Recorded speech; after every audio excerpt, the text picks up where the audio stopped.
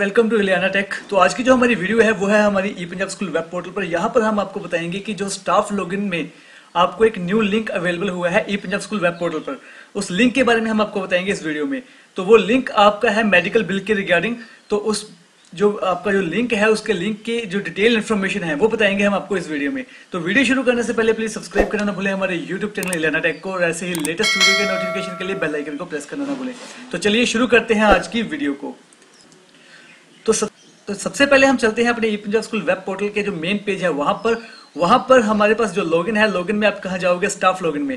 Because वो जो link आपको अवेलेबल हुआ है, वो आपका हुआ है स्टाफ लॉगिन में। तो स्टाफ लॉगिन पर आप क्लिक करोगे, यहाँ पर आप फिल करोगे आपका user ID and password and then अपनी डेट ऑफ़ बर्थ फिल करके आप क्या करोगे? लॉगिन करोगे। यहाँ पर मैंने लॉगिन किया हुआ है किसी एक स्कूल आपके स्टाफ अकाउंट में यहाँ पर आपने क्या करना है? ये हमारे पास है डैशबोर्ड यहाँ पर आपने अप्लाई सेक्शन में जाना है। अप्लाई सेक्शन में देखिए हमारे पास बहुत सारे ऑप्शन अवेलेबल है। जैसे कि अभी आपने लेटेस्टली जो ट्रांसफ़र का है, वो यहाँ से ही आपने फिल किया था अपने ट्रांसफ़र के लिए। तो यहाँ पर अब मैं चेक करता हूँ। देखिए यहाँ पर ट्रांसफ़र का अप्लाई फॉर ट्रांसफ़र आपने यहीं से किया था। अब यहाँ पर हमारे पास एक न्यू लिंक अवेलेबल हुआ है, वो है मेडिकल का। तो मेडिकल के अंडर देखिए application for the medical bill and medical bill history जो आपने बिल जहाँ पर सबमिट किया हो, उसकी आप यहाँ पर हिस्ट्री चेक कर सकते हो। बट अगर आपने बिल सबमिट करना है तो उसके लिए आपको यहाँ पर application for the medical bill पर क्या करना पड़ेगा? क्लिक करना पड़ेगा। तो जैसे आप यहाँ पर क्लिक करोगे एंड देन यहाँ पर आपके पास जो है, वो आपकी general detail and staff detail आपके सामने डिस्प्ले कर देगा।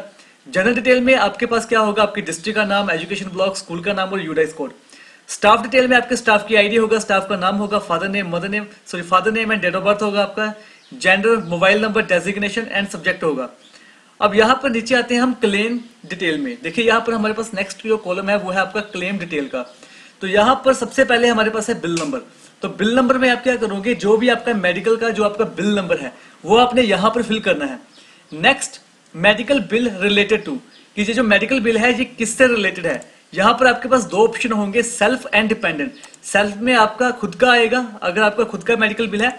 डिपेंडेंट में आपके जो डिपेंडेंट है उनका जो बिल है, वो आपको यहाँ पर क्या कर सकते हो सबमिट कर सकते हो। डिपेंडेंट में जो आपका रिलेशन है, जैसे कि आपका फादर है मदर है स्टेप चिल्ड्रन है, आपके लेजिस्मेट चिल्ड्रन है, आपके लीगली अडोप्टेड चाइल्ड है विदाउट डॉटर्स एंड वाइफ है। तो यहाँ पर ये आपके ऑप्शन है, इन ऑप्शंस को आप क्या कर सकते हो सिलेक्ट कर सकते हो।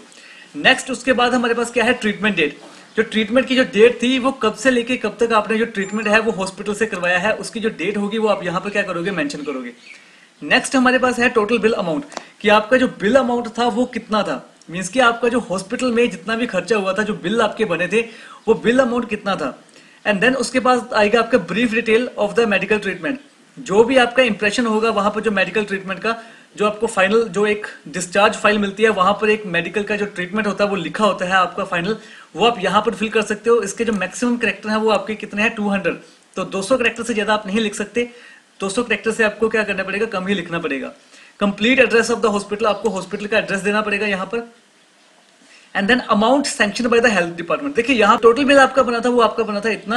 And then amount sanction by the health department कि हेल्थ डिपार्टमेंट ने कितना सैंक्शन किया जो भी आपके सीएमओ ने या फिर सिविल जो आपके मेडिकल ऑफिसर है, उन्होंने जो फाइनली आपने जो कमेटी बनी थी, उन्होंने जितना सैंक्शन किया हुआ है, कि फॉर एग्ज़ाम्पल वन लाख का बिल था, आपका अस्सी हज़ार रुपया उन्होंने क्या किया या फिर सत्तर हज़ार रुपया क्या किया सैंक्शन किया तो वो आपका यहाँ पर आएगा।